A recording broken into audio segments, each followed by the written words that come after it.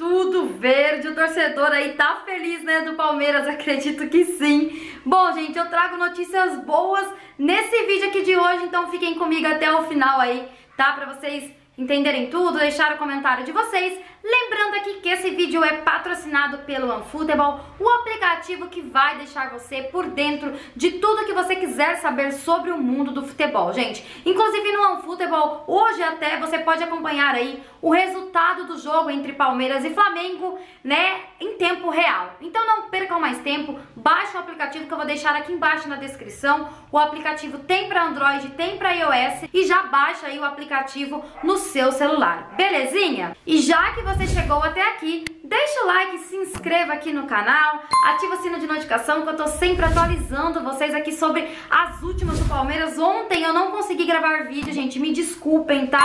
Mas foi bem corrido o dia, mas estou aqui hoje, né, pra gente bater um papo sobre o Palmeiras, passar as últimas informações, até porque hoje tem Palmeiras e Flamengo, Flamengo e Palmeiras, é, numa nega rincha, né? Em Brasília. Então, é, lembrando que tem pós-jogo aqui, viu? Acabou o jogo do, do Palmeiras e Flamengo aí, corram aqui pro canal que vai ter o pós-jogo aqui, belezinha?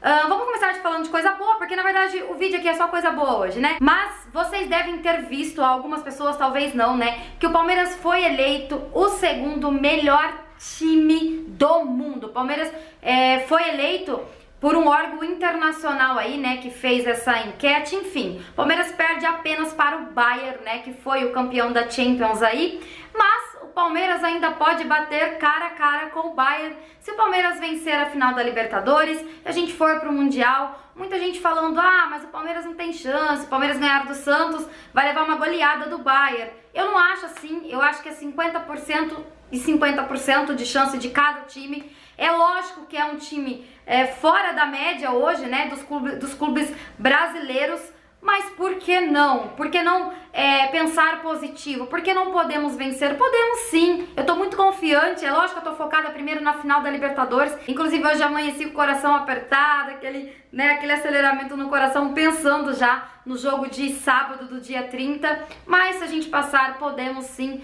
bater aí de frente com o Bayern, quem sabe ganhar esse Mundial também, né? Eu quero saber a opinião de vocês sobre isso, é muito importante porque há dois anos ou um ano atrás a gente estava aqui cornetando, até mesmo há quatro, cinco anos atrás, seis anos atrás, a gente, é, o Palmeiras numa situação precária, né? E assim, a gente nunca imaginou que o Palmeiras pudesse chegar onde chegou hoje. É lógico, como diz o Abel, ainda não ganhamos nada, mas o Palmeiras vem bem, né? E, e o resultado de um bom trabalho faz com que a gente possa sonhar e que logo as taças venham, né?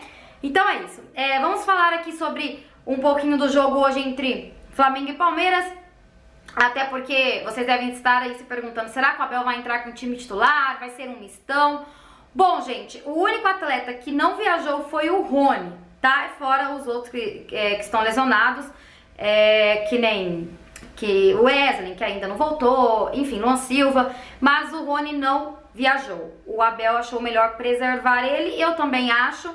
É, acho também que o Abel não vai entrar com, tipo, ah, vou entrar só com o time sub-20. Não, acredito que ele vai fazer uma mesclagem. Então não se surpreendam se vocês verem Vinha de titular, é, vários e vários jogadores aí que jogaram na Libertadores de titular, porque o Abel sempre falou que ele vai entrar com o que ele tem de melhor, né? Se o atleta aguenta, se o atleta pode, ele vai colocar o atleta. É surpresa e ótima notícia aí, a volta do Patrick de Paula, gente, e do Verón, tá? Porque eles já treinaram com o elenco, então podem estar até jogando hoje aí, né? Provavelmente pode até ser é, um, um dos titulares aí para esse confronto entre o Flamengo. Eu sei que vocês estão rindo à toa, porque o São Paulo ontem perdeu de 5 pro Internacional. Confesso que eu não assisti o jogo, a hora que eu acordei, que eu vi o resultado, comecei a dar risada, não acreditei, né? E aí o Palmeirense continua sonhando ainda com o Campeonato Brasileiro. O Inter tomou a frente agora, nós temos dois jogos a menos. Não, nós tínhamos um jogo, agora nós temos um jogo a menos, né? Que é contra o Vasco. E hoje ainda, então, não, não jogamos o segundo, então é, ainda fica dois. Mas jogando hoje, o Palmeiras fica apenas com um jogo a menos, porque já, já teve o confronto contra o Corinthians, no qual fizemos 4 a 0 e não queria falar nada não, né? Mas enfim, é, eu queria saber o palpite de vocês pro jogo de hoje. Vamos aguardar para ver o que o Abel tem aí, né, pra pra, se vai nos surpreender. O Abel que tava estudando o time do Flamengo já durante a semana, eu vi numa pranchetinha, numa pranchetinha ali, eu acho que a maioria da torcida deve ter visto também um símbolozinho do Flamengo e ele escrevendo ali alguma coisa. Abel que é muito inteligente, já falei isso várias vezes.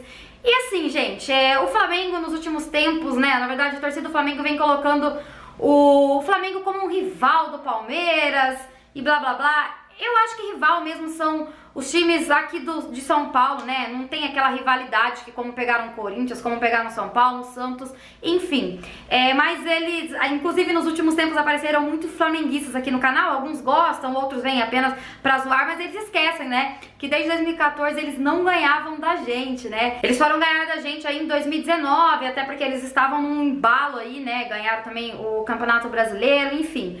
Mas eles passaram um, um perrenguezinho aí com o Palmeiras, né? Eu fui em vários Palmeiras e Flamengo, no qual o Palmeiras ganhou do Flamengo e a gente colocou aquilo lá de cheirinho. Então, por conta, de, por conta disso, eles colocaram essa rivalidade. Mas é, a gente sabe que vai ser um jogo grande, a gente sabe que o Flamengo não é um time bobo, tem jogadores ali de qualidade, que nem, tipo, tem que marcar muito bem a Rascaeta, Gabriel, não pode deixar sozinho, não pode deixar, né? Tem que. Tem que o Palmeiras. Mas o Abel sabe o que ele faz. Tem que marcar tem que entrar com vontade, nós temos chance sim de ganhar esse jogo de hoje e eu quero saber aí o palpite de vocês, vamos aguardar para ver o que o, o que o Abel preparou aí. Então, gente, é isso. Assim que acabar o jogo do Palmeiras, corram aqui pro canal que tem pós-jogo e eu volto quando der para atualizar vocês sobre o Palmeiras. Belezinha? Um beijo no coração, a gente se vê aí. Até mais e avante palestra.